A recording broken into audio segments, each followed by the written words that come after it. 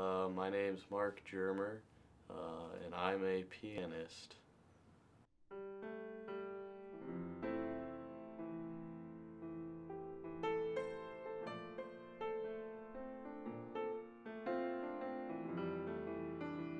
My parents made me take piano lessons when I was five, and I hated it.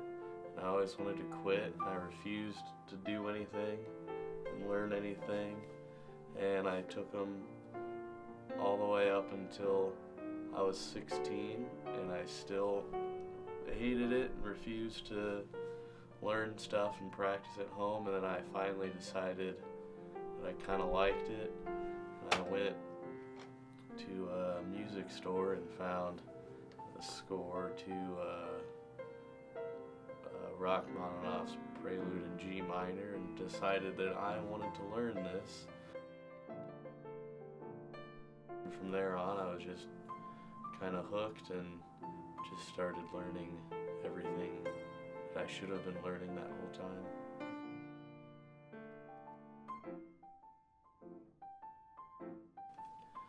Uh, something that kind of changed the way that I looked at like performing and music was um, when I was like 14.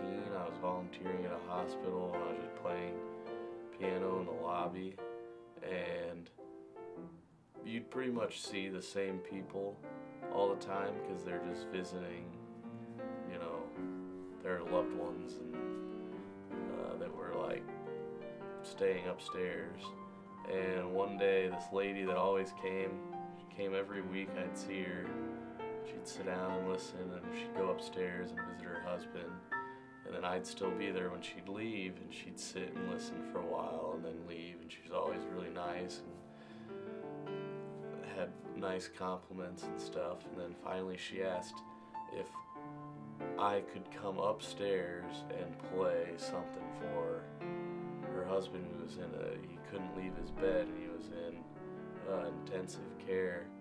I went up there and played yesterday by the beatles because it was his favorite song and i just happened to know it and uh, i actually couldn't go into the room because he was in such bad shape but i could still like see him laying there and then you know played the song you know, she said, thank you, thank you. And I said, okay. And I left and then didn't, you know, because I was a 14 year old kid, I didn't really think much of it. And then came back the next week and she was there when I showed up to play and told us that he had died like a couple hours after that. And it was just really weird that I was the last like music that he heard ever and it just kind of stuck with me. Right now, I'm just trying to be, uh, I'm just trying to be probably the best pianist that I can be. I'm just getting all my technique and skills and chops down and knowing all the repertoire that you need to know. And I want to be able to you know, get a phone call and it's, okay, well, we need jazz today.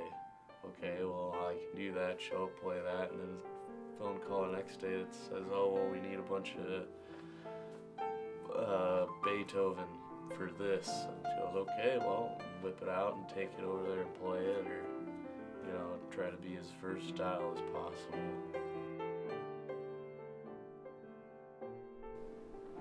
I usually feel really confident when I'm playing, and uh, I don't think about a whole lot other than, you know, maybe different parts in the music that I um, need to make sure I do correctly or something like that.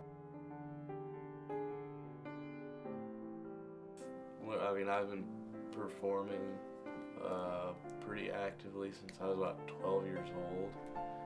Um, I mean, that's recitals and and going to and playing weddings and bars and all sorts of stuff.